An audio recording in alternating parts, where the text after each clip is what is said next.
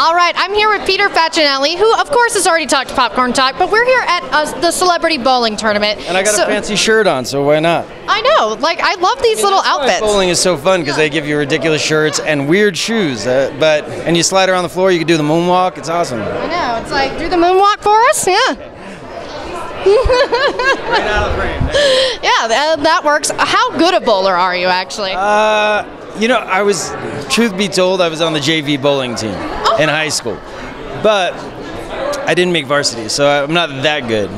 But I was, you know, pretty decent. Um, I bowl, I bowled about 170, 180 back then, but I haven't bowled since. I mean, I, I bowl for fun once in a while, so I would say right now I'm about a 120, 130. Wow, that's pretty good. And what I like about bowling, it's much like mini golf. The where the more you drink, the better you are. Do you feel like you're that kind of bowler? Sometimes. I mean, when you drink, usually there's like three lanes, and you just kind of pick the one, you know, in the middle.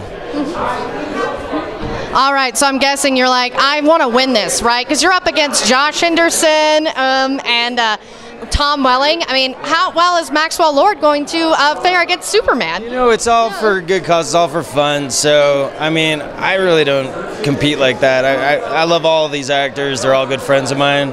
Just out here to have a good time today. But they are going down. Yeah, exactly. Uh, how is your trash talk game? That's the most important game here, right? Yeah. Well, it's hard to trash talk in these shirts. no one wants to take me seriously. Well, that's the thing. Is at least you're all wearing the same uniform, so you feel like less of a dork. That's true. Yeah. I, I'm going to start wearing this out. I think I'm going to I'm going to bring it back. It's going to be the new the new trend. Bringing back bowling shirts. I mean, Charlie Sheen did immortalize them with Two and a Half Men, but I think you know this one. It's perfect with the red and the black. You kind of match our logo. Yeah. Well, cool. All right. Your mascot. Yeah, the Popcorn Talk mascot, Peter Facinelli. All right. Thanks so much.